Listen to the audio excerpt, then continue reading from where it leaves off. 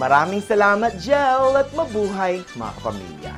Ako po, si Manny the Movie Guy, and the name of the film is Bitter Melon, and it's one of the best kapamilya movies you'll see this year. Merry Christmas, anak! Welcome to the Santos home. It's Christmas, and the family is having a rare reunion.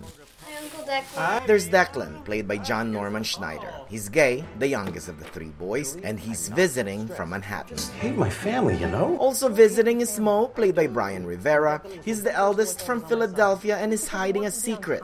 His wife is African American. Down. We're racking up minutes. And then there's Troy, wonderfully played by Patrick Epino. The middle son is the black sheep of the family who bullies everyone around, including his wife. Be careful, honey. The matriarch of the clan is Prisa, played by Josephine De Jesus, but everyone wants to know where's their missing father.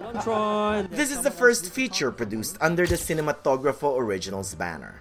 Full disclosure, I read the script when it was submitted for inclusion to the festival, and I have been a fan ever since that it's such a treat seeing the finished film. With the help of ABS-CBN and the San Francisco Film Society, The patriarch of the production is the brilliant H.P. Mendoza who wrote, edited, and directed the film, an autobiography of some sort. Mendoza started writing the script in 1997, and his passion never wavered. I don't want them anywhere near this thing. Set in San Francisco's Mission District, the neighborhood becomes an integral character in the film.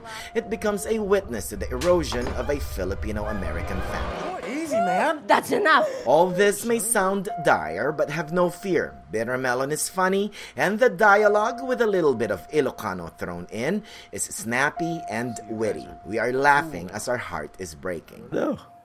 We cool, babe? Balancing comedy with dark themes such as domestic abuse, homophobia, and bullying is hard to do, but Mendoza is able to create a haunting and entertaining film that does not preach. Declan, that's sick. Bitter Melon subverts the stereotypes of a Filipino family and turns murder into a tragicomic tale of revenge. The musical score can be a bit overbearing at times, but the acting is great, and you will be rewarded with a payoff complete with unpredictable twists. Just playing along. Rich in character development and less on the melodrama, Bitter Melon gets 3.5 out of 4. Not bitter at all. Kisses. Ako po, si Manny the Movie Guy, always proud of our kapamilya filmmakers. Ciao.